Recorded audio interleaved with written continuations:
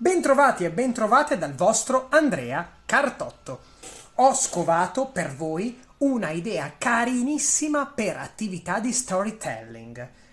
Basta una pagina web apribile da qualsiasi dispositivo, nel mio caso per mostrarvi la versatilità sto addirittura usando lo smartphone, ma potete anche usare il monitor interattivo, quindi potete usarla in classe, computer, tablet, ciò che desiderate per usare Story Dice. Story dice, sito di riferimento, guardate bene in alto, Dave, Dave, Birs con due S, nome e cognome dell'autore.com. Risorsa super free da utilizzare così com'è, tanto geniale quanto semplice.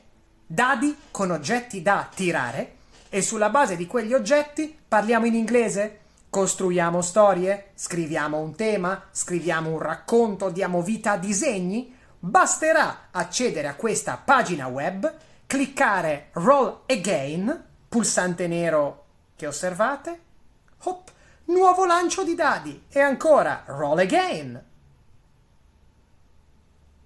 Questa è la versione a 5 dadi, ma se non ci bastano e vogliamo 9 elementi per costruire una storia, in alto a sinistra nella pagina web c'è la versione 9 versions. E opla! Vado per voi a ridurre, eccoci qua, vedete?